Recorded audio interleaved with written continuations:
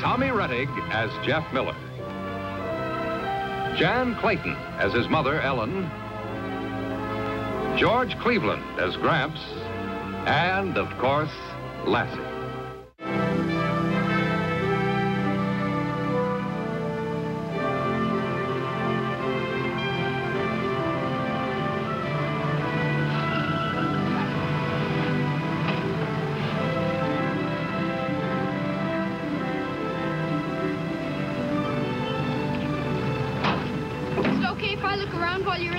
Well, stay close. I won't be but five minutes. I will.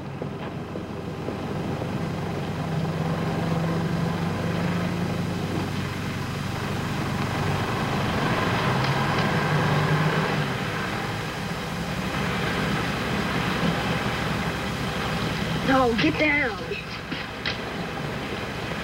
I'm going in and see how much those white mice cost. Mm. You better stay out here. There's too many animals in there. I'll be right back.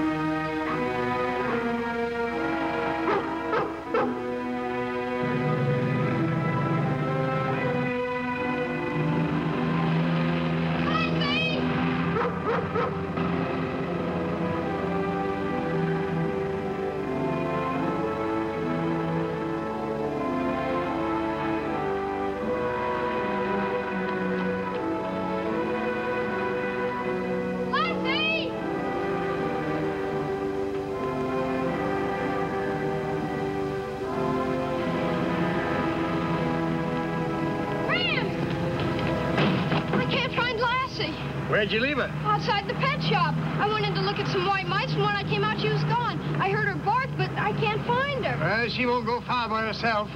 Lassie! I already called her. Sure she ain't in the pet shop? I don't think so. Is Lassie in here? No, Perhaps she's not in there. there's a new leash law in town. It's very likely that your dog's been picked up by the pound man. What's that? Dog catcher. Oh, Gramps. I know now. Take it easy. Uh, where's the pound? Well, uh, you're on Fifth Street now. Go north four blocks, turn left, and it's two blocks west, almost to the corner. Mr. Hofstadter's the man to see. He's very nice. Thanks. If Lassie comes back here, would you keep her for me? Well, I certainly will. Thanks.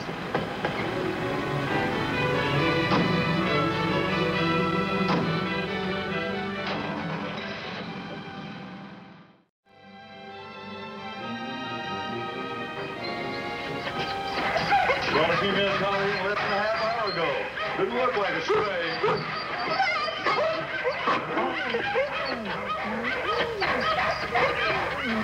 Sure glad to see you, ain't she? I'm sure glad to see her.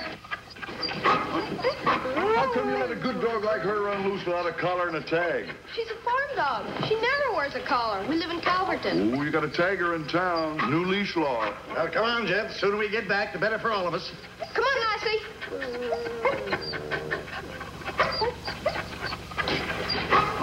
Got real friendly, them two. I brought them in together. Come on, Lassie.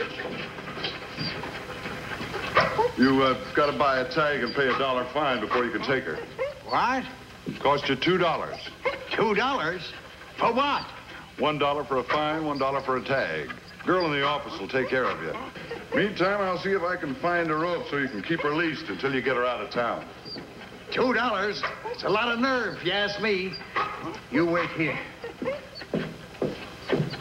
Gramps is having conniptions on account of you. This ought to do. Thanks. Does everybody who comes for a dog have to pay two dollars? That's the law. The trouble is, nobody comes for most of them. They're just strays. What happens to them? I mean, if nobody comes for them. We put them to sleep. Law says we can keep them for seven days. I try hard to find a home for them, but uh, it's not easy to do. There's more dogs that want homes than there are homes that want dogs. I've got to get rid of a dozen of them next Monday. You mean you're gonna kill them? It ain't the two dollars I mind, miss. It's the principle of the thing. I don't see any reason for me to pay dog tax to Capital City. I don't even live here. I'm sorry, sir. Well, you feeling sorry don't help me none. I'm the one that has to shell out the two dollars. And if you ask me, it's downright illegal. Why, that dog wasn't loose over five minutes. Ought to have leash laws for people instead of dogs. It's one dollar for the tag and one dollar fine. I know, I know. But I'm going to tell you something, young lady. We got laws over my way. And if I catch any city people on my property trespassing, I'm going to have the law on them good and proper. Dog's name? Lassie, Owner's name. Jeff Miller. Address? I told you, Calverton. Now, you sure it's all right? Well, sure it is. I'll tell Gramps. Come on, Jeff. Oh, Gramps won't be all right if I... Come on. Oh, Gramps. I'll be seeing you. Sure thing. Nice people.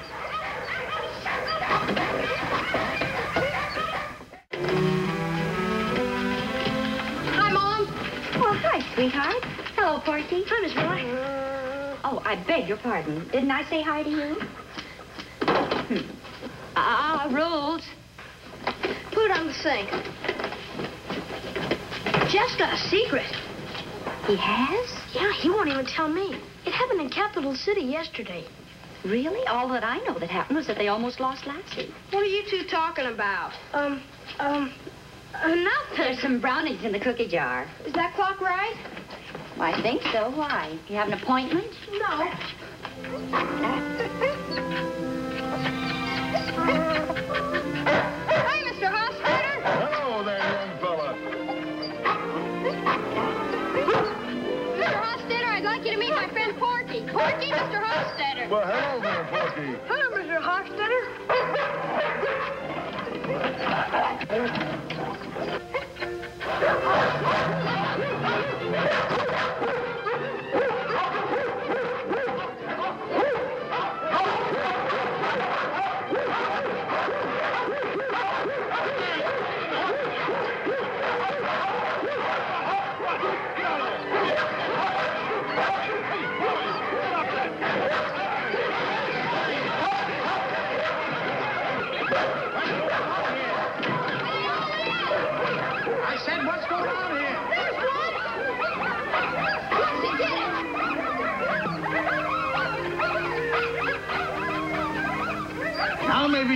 tell me what's going on here. You remember Mr. Hostetter, Gramps, from the dog pound? Pleased to see you again, sir. Why'd he bring all them dogs here? Dad, you better change those overalls. They're soaked. I'll take care of this. Mom, this is Joe Hostetter. Pleased to meet you, ma'am. How do you do? Jeff, what is this all about? Uh, the boy's got a heart of gold, ma'am. You can be right proud of him. Jeff, would you mind telling me what this gentleman means? Well, you see, Mom, these dogs are from the pound. They're strays. Yes? Well, they were going to be killed because nobody wants them. Gosh! They've only got a little while to live if they don't find homes. Isn't that awful? It certainly is. Then you'll let them stay? Stay? Stay, stay where? Oh, right here with us, till I help find them homes. Porky, you'll help me, won't you, Porky? Jeff, what has got into you? Now, you know that's out of the question. But why, Mom? Because this is a farm, not a kennel. Now, the dogs will go back where they belong, and right now. I'm sorry, Mr. Hofstetter. It's all right, ma'am. You always said that people should protect animals, that it's our duty because they need us and depend on us like children. Now, Jeff, listen. All they want is to love somebody. They haven't done anything to you, but you want to hurt them. You don't care if they die. Oh, look, dear. I do care very much. But, well, there are just some things in life that you, you must learn to face. Like what? Well, you don't know if anybody wants those dogs, and, and in the meantime, they have to be fed. That costs money. I've got money. I saved up $2.65 for a new football. I got 50 cents saved up, and you can have my next week's allowance. Oh, all right, you can try. Oh, thanks, Mom.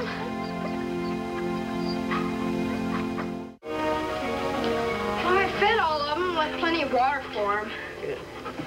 Oh, Jeff, why didn't you leave this one in the barn, too? Go away. He's Lassie's friend. What's his name? I'm calling him Atlas because he's so big. And so pretty, too. I'm pretty tired, Mom. I think I'll go to bed. Come on, Atlas. Oh, no, he's not going to sleep in your room. Why not? Because, number one, the room isn't big enough. Number two, one dog in the house is enough. Oh, no, he sleeps out in the barn. In fact, he needs a barn to get around. Oh, all right. Good night. Good night. Good night, Gramps. Good night, son.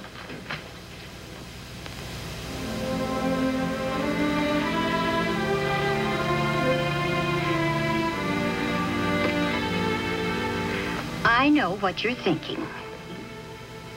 Hmm? I know. I'm much too harsh with him.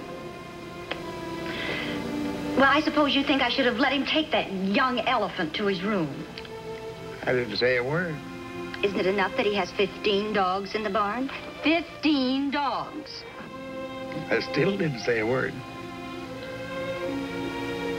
After all, there's a limit to things.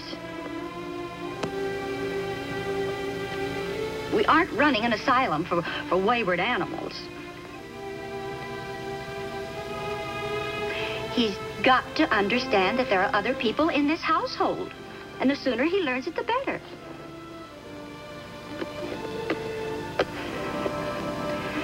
Well, haven't you anything to say? Not a word.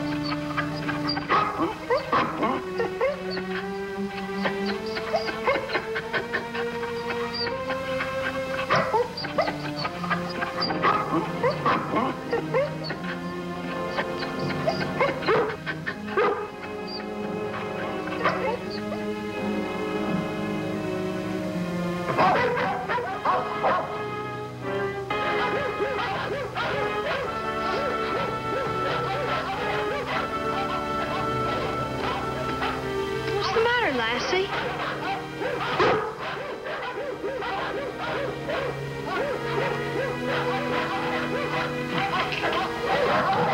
Quiet! Be quiet! Get down, Atlas!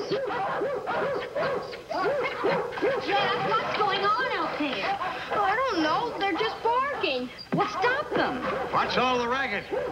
Fifteen dogs. Please shut up. What got him started? Oh, no, but I can't stop them. Hush up, hush up, hush up. Maybe if we let them out, they'd stop. I heard that. Don't you dare. Ain't no use staying out here in the cold. Uh, they'll quit after a while.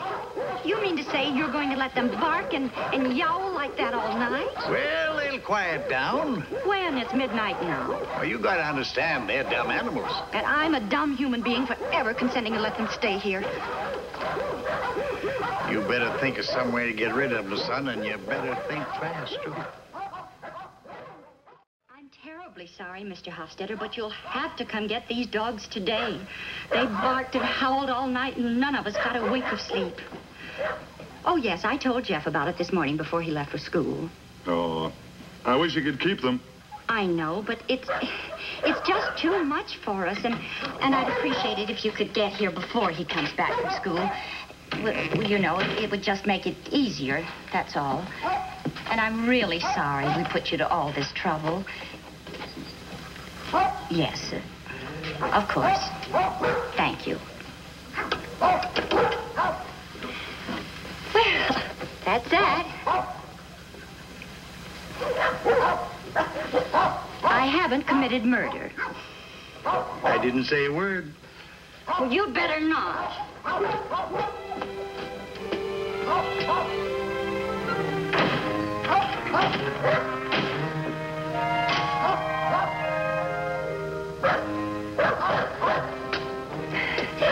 It's after three. What's taking so long? The last one. Well, please hurry and get them out of here. Keep stalling. You can't stall no longer. There ain't no more dogs. We've been here for an hour already. Fiddle with the truck. Trouble getting us started. If You'd only tell me what's going to happen. Well, I don't know, but you can bet your bottom dollar that something is, or Jeff ain't my grandson. Gramps! We're in time. Please don't interfere, Jeff. Oh, I got a plan, Mom. Porky and me figured it out. What's all this? It was part of our plan. We spent all the money we had, and we got Spike to give 10 cents, and Woody gave 5 cents, and the teacher gave a dollar. And I gave 50 cents. Well, I don't understand. Please, Mom, you gotta trust me. I can find good homes for all the dogs if you'll just give me an hour. Jeff, how? Oh. All right, one hour.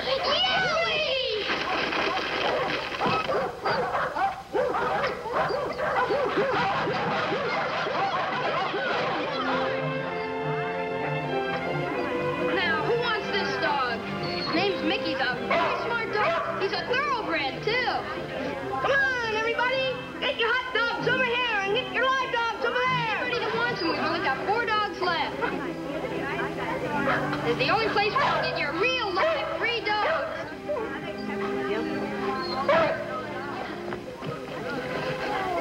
What do you have? I want a dog. Oh.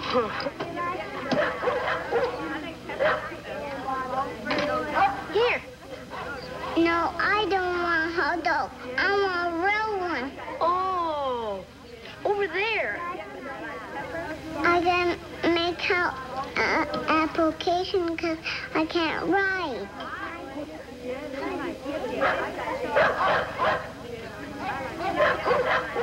Get your free hot dogs over here and get your free live dogs over there. How are they doing? Only two left, the little mutt and Atlas. Oh, that's wonderful. Here, take these out to Porky. I think he has enough rolls. You're proud of your son? Very.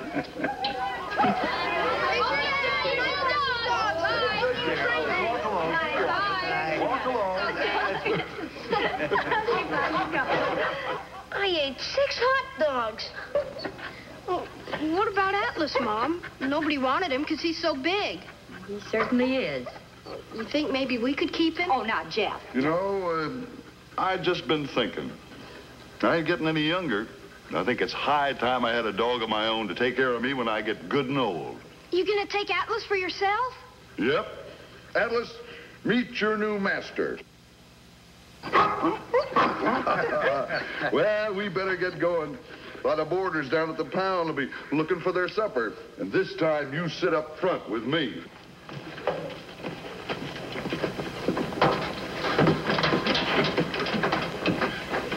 Thanks for everything, Mr. Hofstetter. Thank you, son. Uh, do you think you could visit us sometime and bring Atlas with you to play with Lassie? I'll do that very thing. Thank you for being so understanding. It was you who had the understanding, ma'am.